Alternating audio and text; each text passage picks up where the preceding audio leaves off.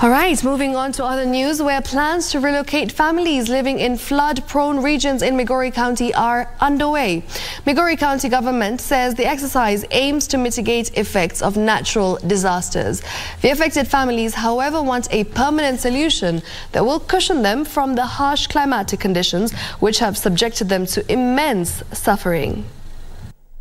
Speaking while distributing relief food to over 200 affected families, Migori County Governor Dr. Ochilo Ayacko said the county government was working on resettling those who are hard hit by the vagaries of climate change. Over 500 families were displaced from their homes when rivers Kuja and Obware broke their banks, flooding villages, building mud barriers, and leaving a trail of destruction. We have the constraints of resources, but we are under duty to intervene whenever our people are negatively affected. In the meantime, agricultural stakeholders in Kakamega County are calling on the national and county government to create a board that will examine and control the fertilizer sold to farmers. Kuna gap ambayo tungependa serikali itusaidie so that hii mbolea yenye inauzwa kwa inauzwa kama imefunguliwa na pia wale wanauza mbolea kushi, shirika kama hilo regulatory body hiyo inaweza kutusaidia kucontrol.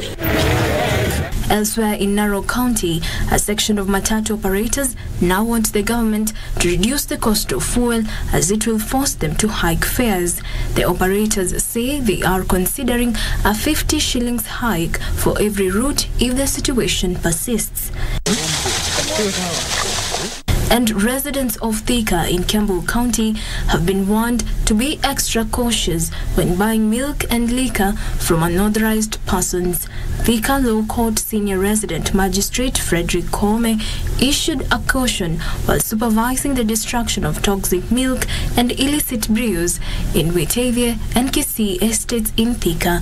He said the suspects who have pleaded guilty to the crimes were fined between 60,000 to 100,000 shillings. This is a health hazard, and I would want to urge uh, people to comply with the law and not to sell, um, you know, adulterated milk to unsuspecting members of the public. Jacqueline Masharia for Easy Friday.